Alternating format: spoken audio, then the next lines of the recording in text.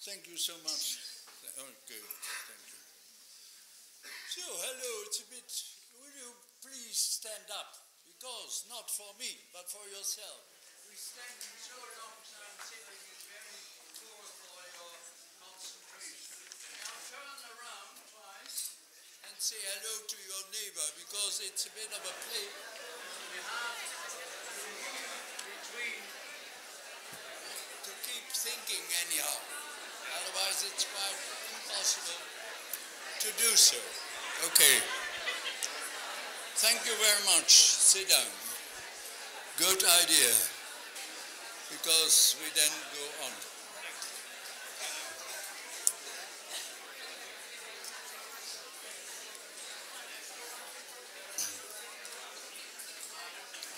Great.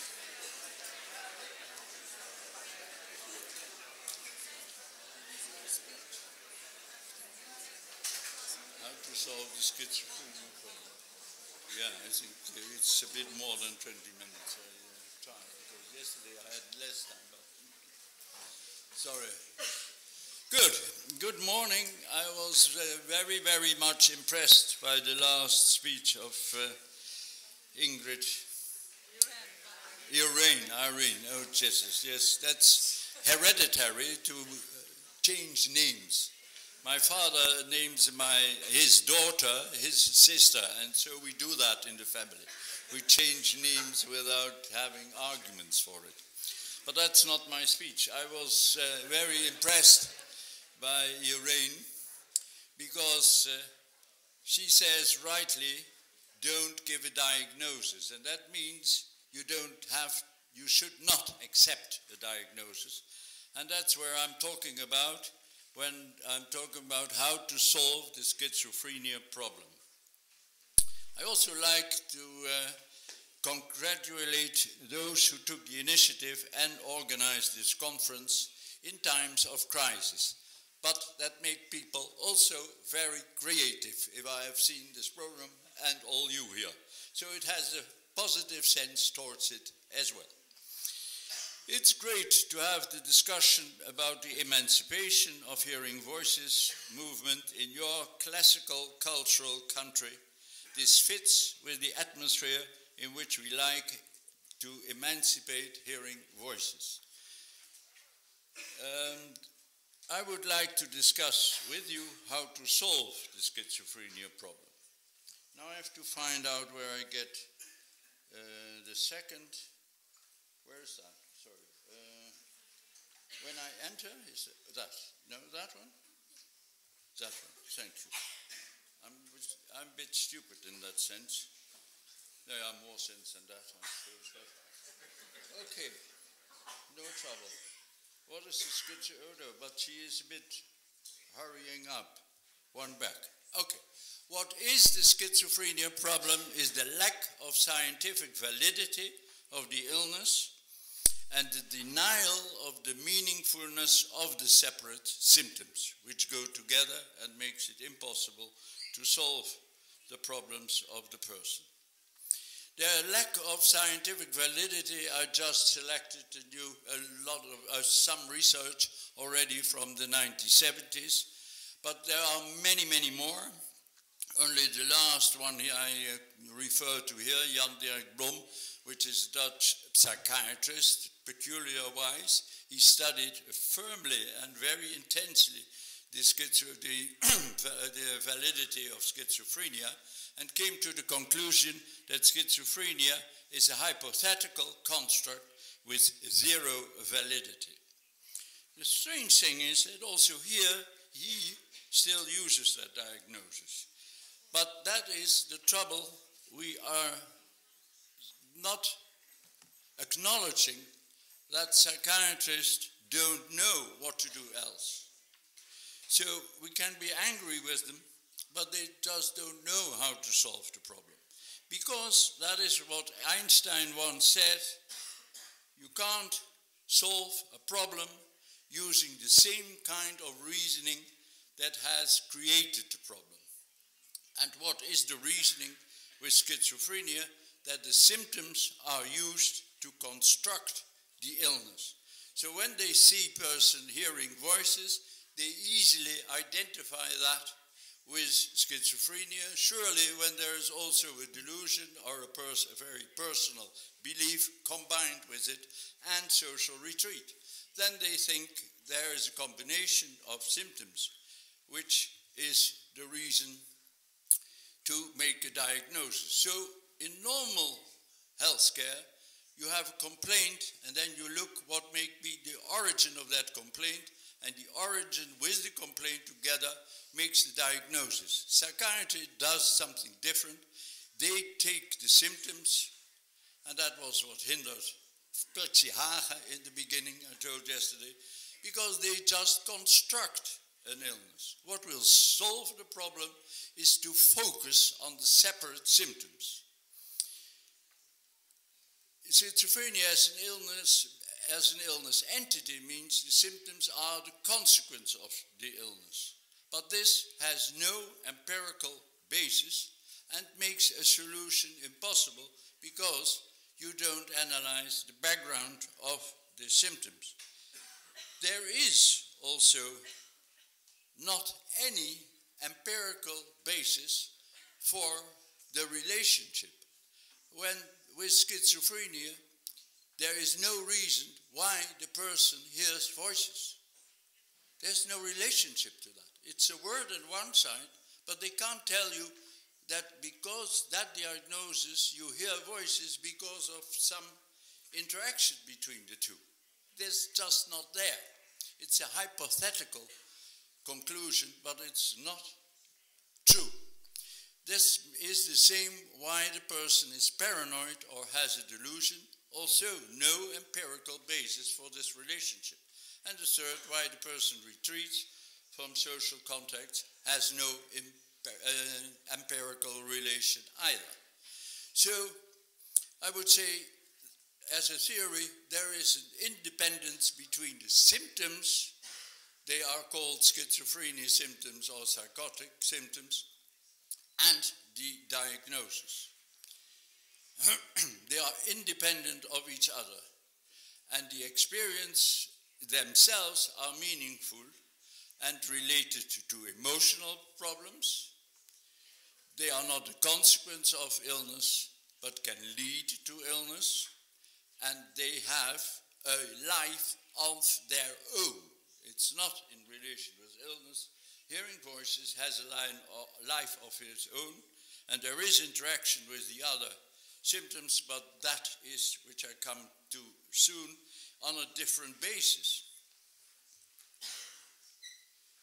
So there are four theories or four, no, four research results that underpin this independence theory. First of it is that the general population surveys have shown that about 4% of the general population knows the voice hearing, the hearing voices experienced by themselves. So it's not seldom because most of them there are more people who hear voices and are not becoming ill than people who become a patient with this experience. Many, many more. So we are, the illness concept discriminates millions of people who hear voices because 4% of the world population is about 200 million because in general it is still seen as a sign of madness. So we not only have to change the professionals because they are also a minority. But we will also have to change the general idea about hearing voices and the public thoughts. Because every time if somebody says he hears voices, there's a big chance the other will say, oh, that's a symptom of schizophrenia. So this has had much influence, but still it's a lie. There, the second uh, research results coming from uh, trauma research. Childhood adversities like sexual abuse, physical abuse, emotional neglect, and bullying have been shown to augment the chance of developing psychosis about eight times, and that is uh, the most uh, recent publication is from Varese and all in the Schizophrenia Bulletin, So it's wonderful that that bulletin has taken because it is a very good piece of research. 2012 in the uh, in the early summer. Okay, but that doesn't. Childhood trauma has been shown to be of causal influence on developing hearing voices, and that was studied by Read et al. when it looked at 308, no, 180 studies in the literature. So you see, that's the third. The, no, the third is the brain scan research. The research argument while a person hears a voice, different centers light up in brain scan research. One positive thing is that there is really happening something in the brain. So it is really heard, the voice. When people hear voices, that is a reality. Now, we knew that already sometime, but when I met Uh, Patsy Hage, I had not the slightest idea. You hadn't that brain scan research, but also we just hadn't thought about these possibilities. We just thought it was fantasy, and still a lot of people think it's a fantasy. This effect of brain scan research is that the same centers are lighting up in voice voices with patients as with non patients.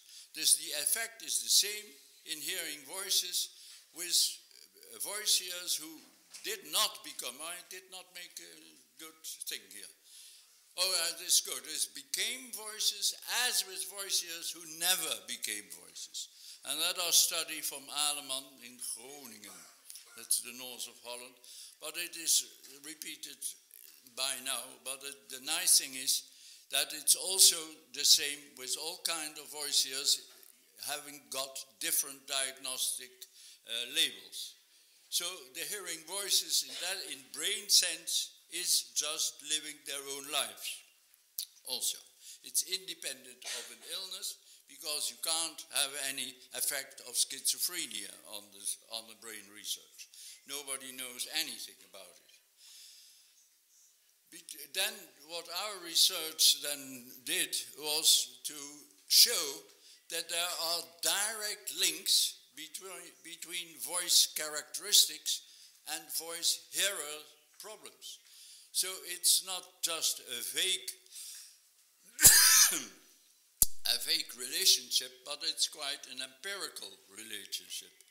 You really can, um, by interviewing the person with voices, you take each separate voice and interview about the characteristics of that separate voice. And then you find a relationship between the different voices and different problems with the voice hearer. So I'd like to give some examples. Age of the voice can indicate the relationship with the age the sexual or physical abuse has started. But it can also be that the age is the age it ended, or that the, the, the, the links are personal. There's not a general thing, but there is a personal relationship, and the age of the voice, most when related to, let's say, sexual abuse, then you mostly see that that age, that voice doesn't grow in age. So a person of 30 will still have a voice of 7 who indicates that at 7, and she will tell you 7, the, uh, the uh, sexual abuse started. The same, there are other links like what triggers the voices might be the same what triggered, for instance, the bullying, because you often hear that people who are bullied over a longer time carry the voices still with them from the people who were bullied.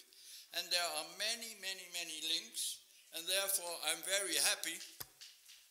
Let's take it, you can read that, I can't. But this is the translation of Living with Voices into Greek, and we have to thank very much Lycurgus and his friend Stephanos, two psychiatrists who have been busy in translating this book. I would advise you because it's especially hopeful for voice hearers because there are 50 stories of recovery described by the voice hearers, they're interviewed by others to get it each story on about four pages because when there is a book, some people like to tell a lot, and that's very interesting, but for a book you have to reduce that. But it's very, very inspiring and giving hope. So it's very, very interesting to buy Christmas, giving all the you known voiceers this book. That's a very nice idea for you and the voiceers. And for the translators, I suppose, too. But in times of crisis, they have to sell these books anyhow. And it's, it's nicely done, and you now know the title. Write it down, I would say, because otherwise you might forget it because mostly people forget everything when they go away from a, a conference meeting. They have only small things, so I hope this, this uh, conference will take home with you the fact that psychiatry is lying about the diagnosis, but that interaction between hearing voices, delusions, and the interaction between paranoia and voices and social retreat are of another origin. The delusions are mostly used to explain. The reason why a person say it are gods might be different for one person to another, but he could explain to you why he thinks it are gods. For instance, as example, they might be gods because they know everything about the person, which in itself is uh, reasonable because it is the person who hears the voices. But this kind of relationship are not easily made when you are convinced you hear voices. You cannot deny that, but you try and find out why these characteristics of the voices give them the idea that they are gods. So you accept the uh, explanation, but there's always a reasoning a part of the, mostly a very intense reasoning part. You have heard that from Irene, how intense the interaction can be between the development of a person and the expressions of his problems. The paranoia can be a consequence of traumatic experience as well, and especially we meet that a lot with being bullied, also, also others, but with the being bullied, people are more paranoid, you could say, to the circumstances in which they also now live. Because in the, the circumstances when people gossip about each other, a, a person who has been bullied will be earlier having the idea that it's, they are gossiping, gossiping about him or her. The social retreat also can be a result of disturbing voices because if you really know how disturbing voices can be while they are talking to you in a group, you would not be, uh, it, it would be not a pleasure to go in a group. So it's quite sensible why people retreat when these voices are coming up in situations with other people around. So a lot of voices don't feel well in, in, uh, in a group of people around. That are all kind of relationships. And that is also what psychiatry just denies. Psychiatrist confuses voices, in fact. It is first of all seen as a symptom of an illness, which it is not. Calling hearing voices a psychotic symptom means a meaningless experience while it has great significance in the life of the voice hearer. And knowledge of this significance by the voice hearer opens the way to recovery. So how to solve this problem? Anoiksis, a uh, association of uh, people diagnosed with schizophrenia in Holland, has changed the name into psychosis susceptibility syndrome. Now, we might hope the next step should be that they all recognize the personal susceptibility. Still, now they are looking for a general susceptibility. But I think that can be the case also, that, we that there are more stress, uh, stress related uh, for persons is more sensible, sensitive for stress, but that's always combined with personal like also uh, Lorraine explained, this, this is always combined with the personal experiences which make you personally susceptible for your personal behavior. So then there is only the need for a personal diagnosis of the person's problems. And with that, you have solved the schizophrenia problem. Besides, it doesn't exist. It also gives you a wrong idea about the reality. And that is not hypothesis. That could, is well recognized in these four research sites, which I called the epidemiological, 4% in the population hearing voices, being no patients, the people, uh, the 4%, the, the background of, um, of traumatic experiences, the lighting up of the brain, and the links which you can find in this book with the persons, the different the separate voices. So people don't hear voices, they hear different voices. And each of these voices are to be analyzed and discussed. So it is an interesting job, not a simple job, I think. But it takes time, and that is one of the things that's necessary when you would make a relationship with a person hearing voices. You need time. And all these institutes have natu naturally rules which are not fitted with this, but I don't go into there. I think the best thing is to read this book and thank Lycurgus and Stephanos, and that was what I like to tell you. All the story, not alone about this book, but also that schizophrenia just does not exist. Thank you.